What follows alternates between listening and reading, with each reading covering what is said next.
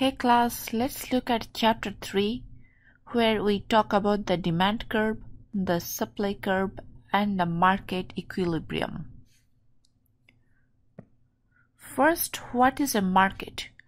Market is an interaction between the buyers and the sellers. Next, I'm going to go take a look at the demand curve. When you look at the demand curve, we have a two quadrant graph, two quadrant diagram where we have price on the vertical axis, we have quantity on the horizontal axis. And this is called a demand schedule where we have a pair of price and quantity demanded combinations. As I can see, the price is going down and quantity demanded is going up. This is called a law of demand.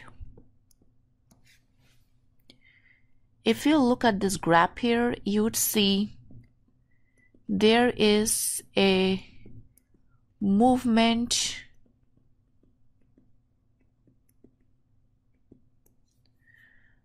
along the D curve or the demand curve.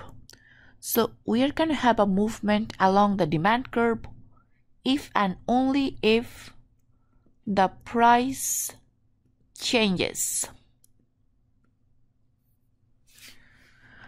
So when price is going down, we have a change in quantity demanded. I have a cause here the cause is price and I have an effect and my effect is a change in quantity demanded. I use the word quantity demanded here you'd understand the difference when you look at a shift of the demand curve. Here the demand curve is not changing to the right or to the left.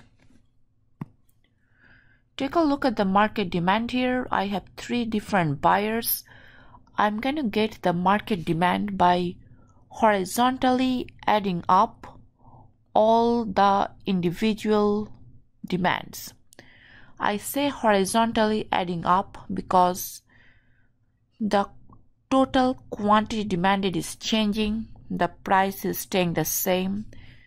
And I have the total quantity demanded on the horizontal axis. So this plus signs are just showing me the additions.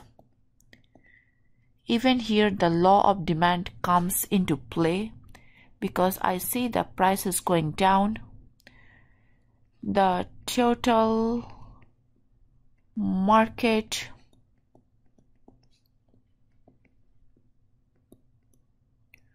quantity demanded keeps going up.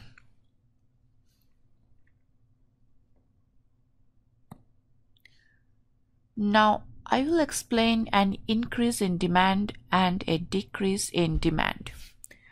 So increase means the demand curve has shifted to the right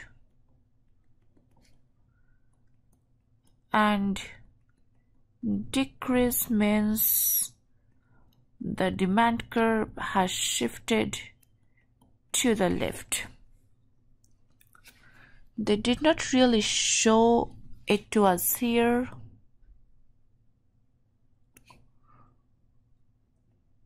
When the demand curve shifts to the right, I say demand has increased, not quantity demanded.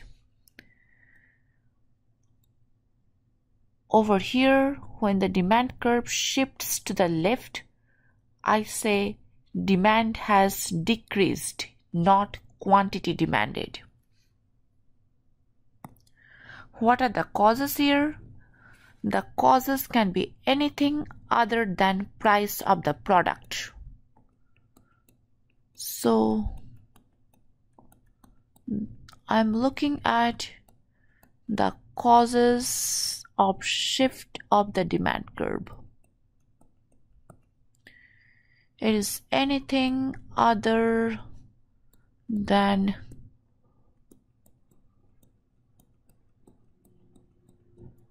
the price of the product.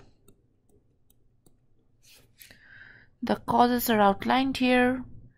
If the consumer taste and preferences goes up, as for example, I have a sudden craving for peanut butter and jelly sandwiches, the demand for peanut butter and also for jelly, that is a separate good altogether, the demand curve for those goods are going to shift to the right. So the demand curve is going to shift to the right if consumer taste and preferences makes them buy more of the good. Changes in number of buyers. If number of buyers are increasing or I just say increases, demand curve will shift to the right. What is a normal good here? Definition when income increases, you want to buy more of the good. Inferior good is when income increases, you want to buy less of the good. Normal good is basically what we buy when our income increases, as for example, fancy meals in a restaurant. Then we can say clothes, books, more traveling. All of these are normal goods. Inferior good examples are probably frozen pizza if your income is increasing you are going to buy less frozen pizza. Public transit can another can be another example of inferior good. Also, ramen noodles, another example of inferior good. So, when income is increasing, if the good in question is a normal good, demand curve will shift to the right good in question is an inferior good, the demand curve will shift to the left. Complements and substitutes. What are complements? Peanut butter and jelly. Examples of complements.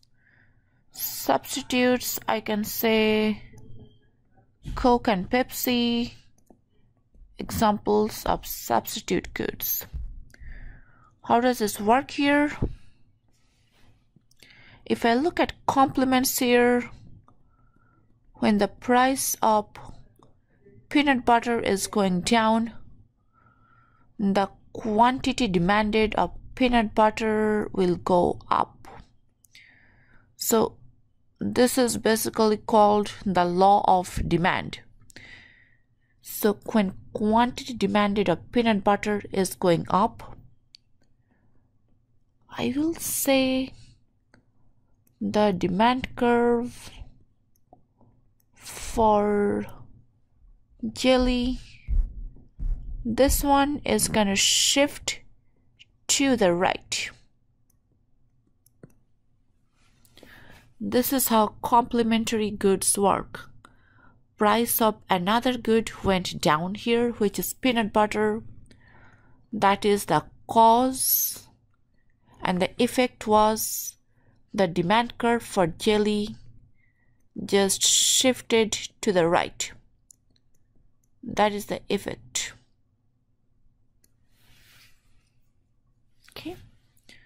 now i'm going to look at substitute goods i'm going to look at how Coca-Cola and Pepsi would work here. So substitute means you just use or drink or consume one or the other. Let's say the price of Coca Cola is going down. That's my cause here. Then I will see the quantity demanded of Coca Cola is going up. That's the law of demand. People are drinking, buying and drinking more Coca Cola. As a result, they are going to buy less.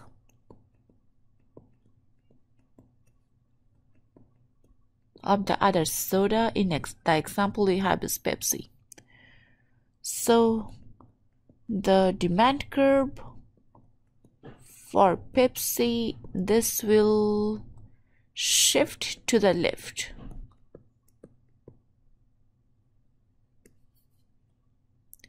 buy less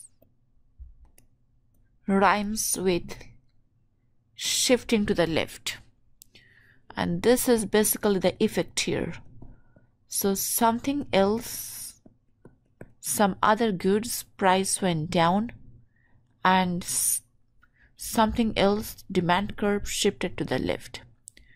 Price of coca-cola went down demand curve for pepsi shifted to the left this is how substitutes work.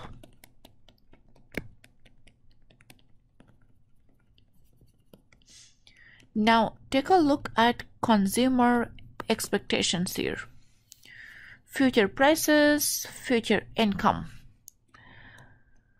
All right i i'm gonna i'm looking at the prices of furnitures right now. I see the prices of furnitures are quite low because of the recession and whatnot and I expect the prices will go up in the future. So over here, I'm comparing the present versus the future.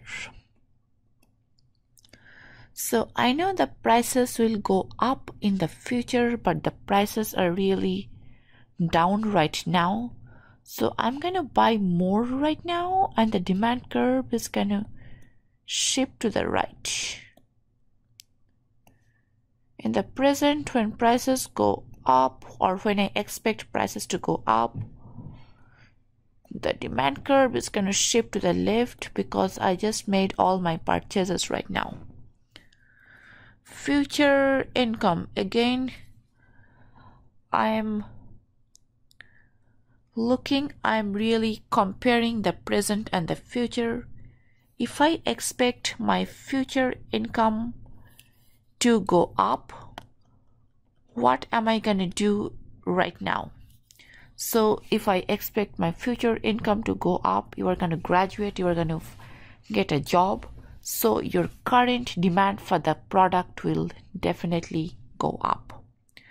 So, this is how the shift works and everything is summarized in this slide number 10 that is all about a change in the demand uh, a change in quantity demanded which we have from this slide and then from here we have a change in demand. That's all about the demand curve. Thank you so much